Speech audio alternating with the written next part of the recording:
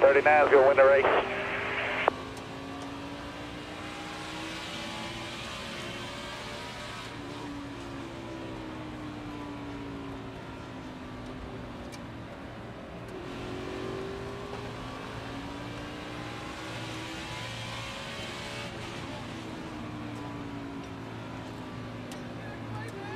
Oh, well, that kind of sucks. Nine more right here. Is your arm starting to hurt? I bet it's hot in there, itching. Oh, yeah.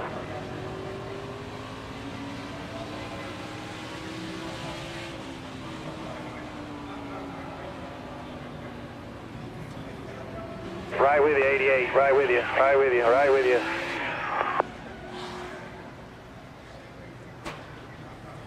So those are some of the circumstances. Jamie is with Clint Good Bowyer rolling, man. Good right rolling. now.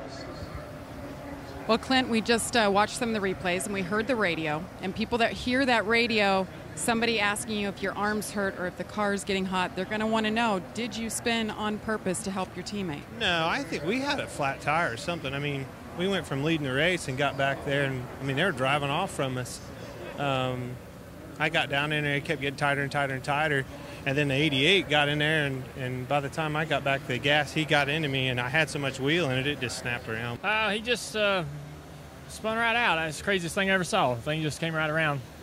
Um, he got. We were going into through three and uh, four, and, and I don't know if they can put up his brakes and his gas. Uh, we got all that uh, technology, and uh, but he was hemming around on the brakes and jer- jerking the car around, and then the thing just spun out. It was crazy.